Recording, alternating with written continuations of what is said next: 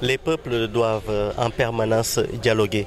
D'ailleurs, dans, dans, le, dans, dans, les trois livres révélés, le, Coran, la Bible et la Torah, Dieu insiste euh, sur le dialogue en parlant à ses envoyés.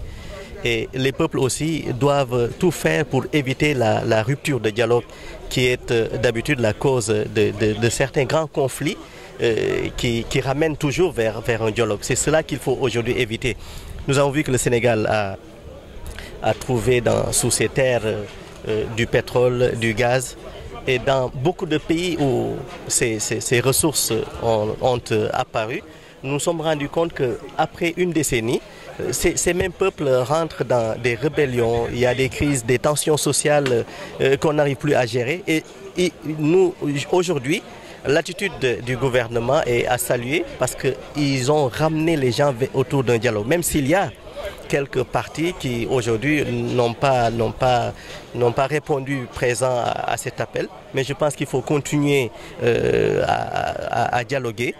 Il faut aussi euh, mettre une certaine sincérité euh, dans, dans ce dialogue. Et je pense qu'on y arrivera à, vraiment dialoguer pour la stabilité de, de notre pays.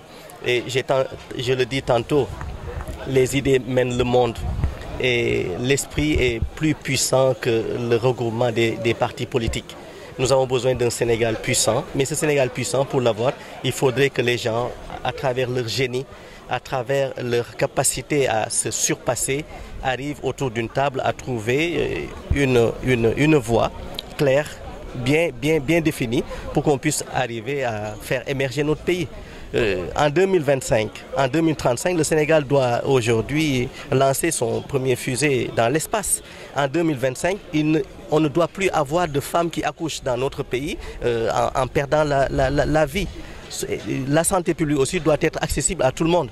Et cela, il faut les répertorier en discuter de manière globale et pour qu'on puisse être témoin dans le concert des nations en, en, en, émergentes.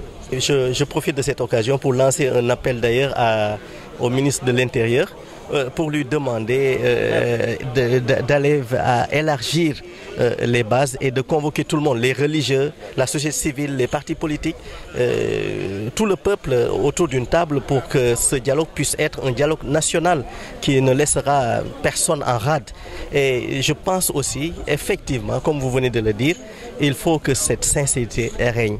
Et je, et je pense qu'il est dans les dispositions de, de faire régner cette sincérité pour un dialogue inclusif.